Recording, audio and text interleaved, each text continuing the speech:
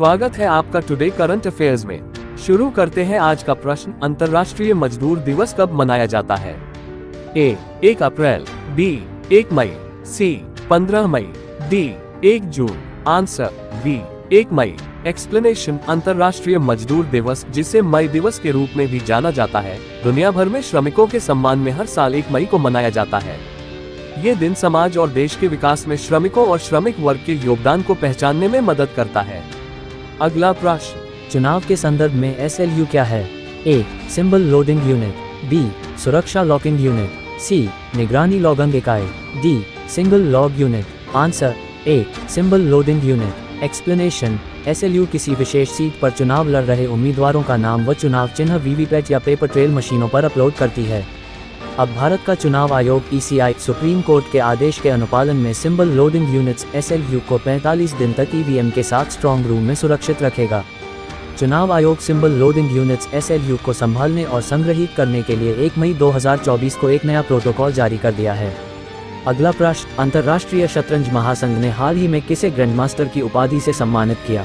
A Nihal Sarin, B Ramesh Babu Praggnanandhaa, C Vaishali Ramesh Babu, D Koneru Humpy. Answer C Vaishali Ramesh Babu explanation अंतर्राष्ट्रीय शतरंज महासंघ ने भारत की युवा शतरंज खिलाड़ी वैशाली रमेश बाबू को ग्रैंड मास्टर की उपाधि से सम्मानित किया है। कोनेरू हम्पी और हरिका द्रोनावल्ली के बाद वैशाली तीसरी भारतीय महिला ग्रैंड मास्टर है।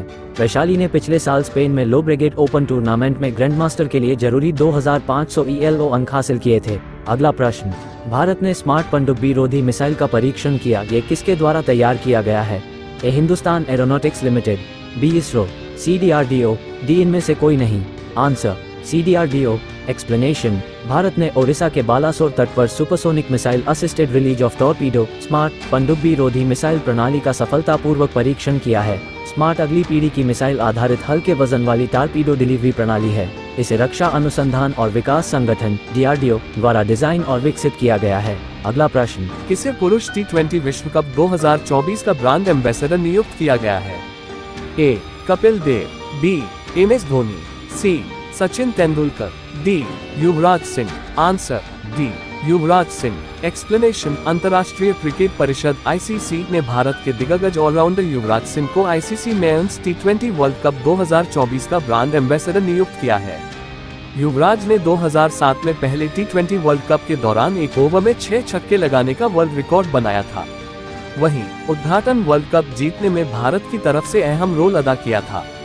युवराज सिंह के साथ क्रिस गेल और उसेन बोल्ट को भी ब्रांड एम्बेसडर नियुक्त किया गया है।